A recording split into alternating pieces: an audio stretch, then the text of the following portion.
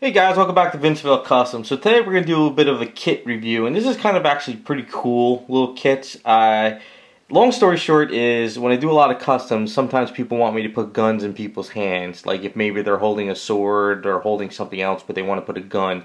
And I'm not really good at sculpting guns, or what I usually did in the past was try to find guns from other kits and statues and kind of break them off and put them stuff. So after doing some research of the project I'm working on for somebody, uh, they really wanted to put guns in their hands. So a friend of mine told me about these a while back, and I completely forgot about them until recently.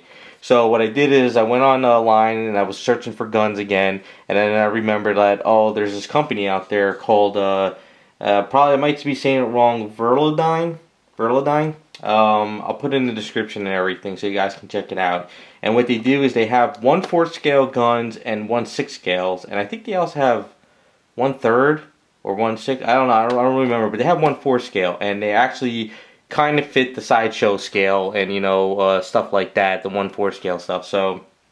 I, uh, I was talking to the client. I said, "Look, I was like, we can actually do guns. I found these things. Are you interested in getting these?" And he said, "Yeah, let's do that." So we found these two guns here, and I thought they were going to be plastic guns because I'm looking at the pictures and it's all black and stuff. So I figured, you know, it's going to be like plastic PVC guns. You just kind of piece together and everything. So my first uh, impression when I opened one up, I was actually shocked. It's actually not plastic, they're actually resin. So it's actually resin pieces, which is actually really damn cool because me working in resin, it actually makes things easier than plastic because sometimes, you know, plastic PVC doesn't really stick paint stick too well. But just looking at these pieces and everything, it's pretty much broken down fairly easy. Uh, this one's actually seems a little bit hollow inside. At least this piece here. I'm not really sure. I kind of have to play with them a little bit. But, you know, I mean, uh, just looking at it and the way it's all done, I mean, it's pretty much... As, I'm trying to trying to gauge it a little bit and see how it works. So I'm looking at the gun here. So there might be extra pieces like, you know, flashing and stuff. So I got to kind of piece it all together. And once I piece it together, though, and I get it in the hand, it's going to be a solid gun. It's going to look like that, you know. Now, the other thing, too, is you don't actually have to you know, put these in a hand of somebody. Say you're working on a Punisher statue, you know, and you want to have him have a bunch of guns like on the ground and maybe wrapped around his shoulder or, you know, whatever, so you can do that. So these things look pretty cool, so it's going to be kind of cool putting them together. Then once they're together, I have to put it into the hand. But I was actually really shocked, as you can see, that these are resin. You know, it's not, uh, it might be like, a, it might be, you know, close to plastic, but it still is resin. So I just got to kind of make sure I piece it all together very well. I mean, it comes with the directions, you know, so you can see how to put the gun together.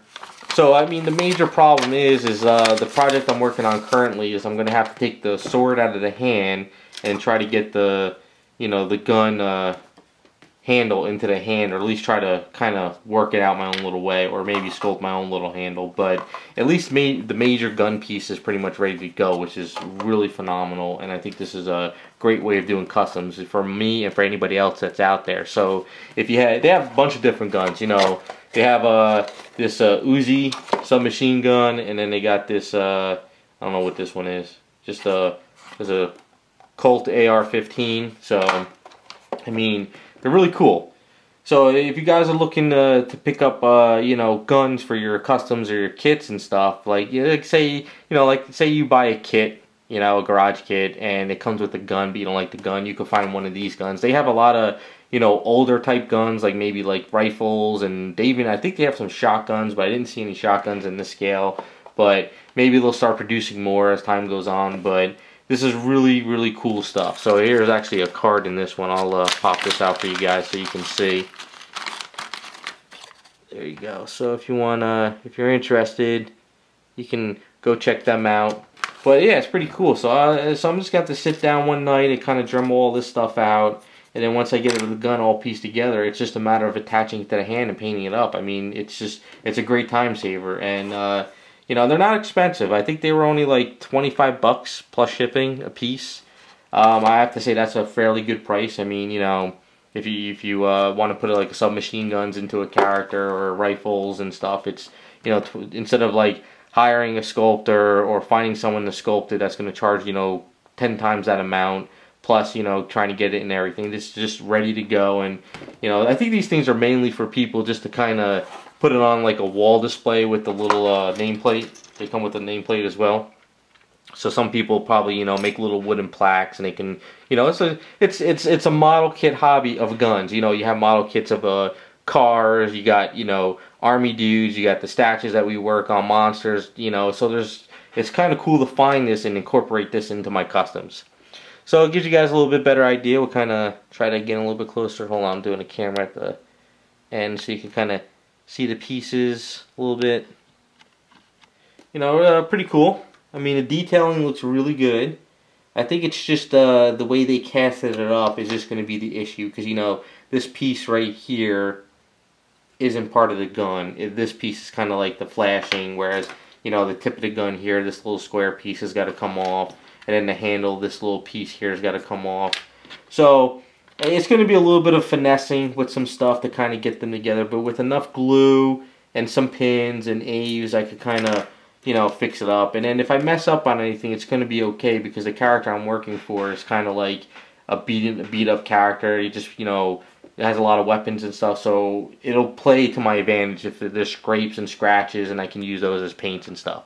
So, there you go. That's a little bit of a kit review.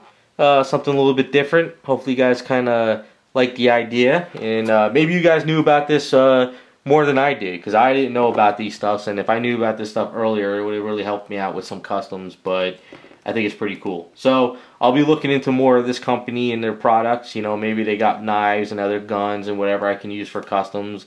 You know, and just kind of change things up here and there. So uh, once uh, maybe if I start plugging away on these and I do it, uh, I'll see how the project, you know, I got to work on one gun, see how it all works out, and then the other gun, maybe we'll do a follow-up video, or maybe I'll do a video of how I'm getting into the custom hands and go from there. But I just kind of want to play with one on my own, and then we'll kind of go to the other one. So thanks for watching, and we'll be back with some more videos.